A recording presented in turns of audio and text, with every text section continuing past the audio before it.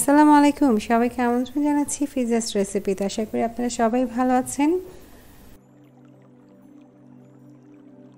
আমি এখানে নিয়েছি তিন টেবিল চামচ মিষ্টি লাউর বিচি, যা আমি আগে থেকে এক চিমটি লবণ দিয়ে মাখিয়ে রেখেছিলাম প্রায় দশ মিনিটের জন্য। আমি এটাকে একদম তেল টেল ছাড়া ভেজে নিচ্ছি। দেখতেই পাচ্ছেন আপনার ভিডিওতে।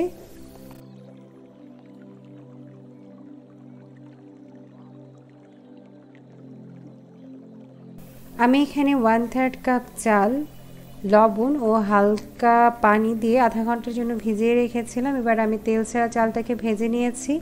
দেখতেই পাচ্ছেন চালটা কী কালার হয়েছে। এমন কালার হলে আপনারা চালটা নামিয়ে ফেলবেন।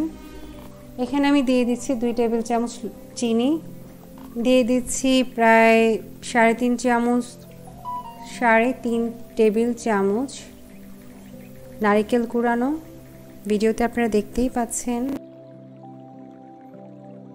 এবার আমি সবগুলো খুব ভালো মতো একসাথে মাখিয়ে নিচ্ছি। বাস তৈরি হয়ে গেল। ঝটপট একটি মজাদার নাস্তা।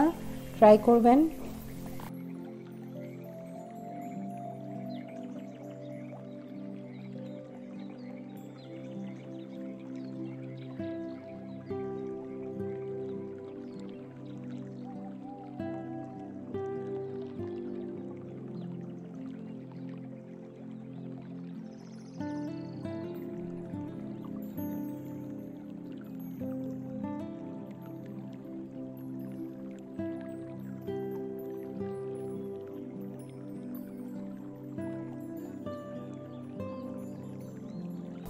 এতক্ষণ আমাদের সাথে থাকার জন্য আপনাদের অনেক অনেক ধন্যবাদ। ভালো লাগলে সাবস্ক্রাইব করবেন শেয়ার করবেন।